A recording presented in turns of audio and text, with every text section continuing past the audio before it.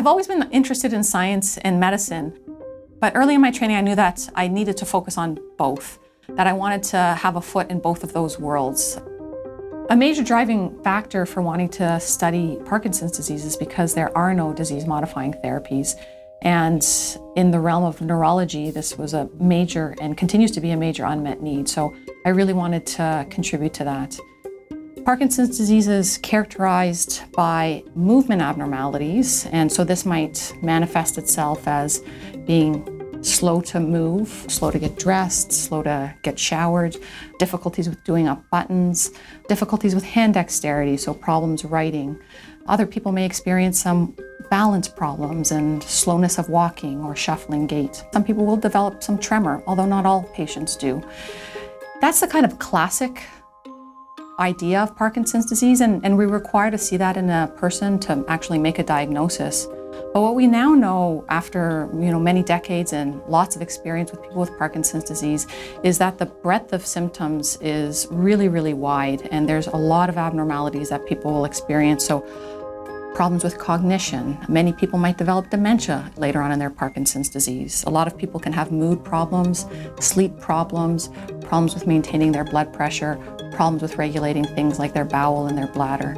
And this whole constellation of symptoms causes a large amount of disability for people with Parkinson's disease, um, and as a consequence, really needs a very personalized approach to treating Parkinson's disease. So, one of the major limitations of our treatments for Parkinson's disease is that they don't have the capability of stopping brain cells from dying. We call that disease modification. So, the treatments that we have can mask symptoms, but they can't actually modify the disease, meaning that they can't stop the progression, they can't slow the progression.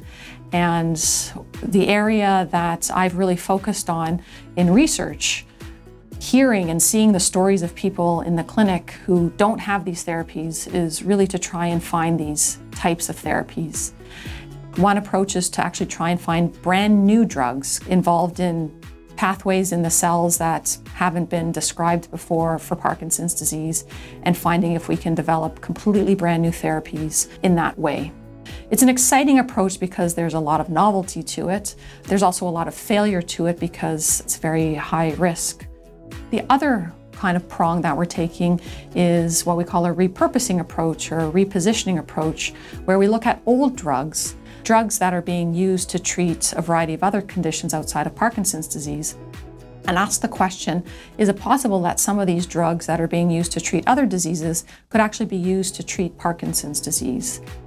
And then I guess the third approach is a bit of a combination of the two where we're looking at drugs that are available and then other technologies that could help us to make these drugs amenable to treating Parkinson's disease. What I love most about my job is really the people.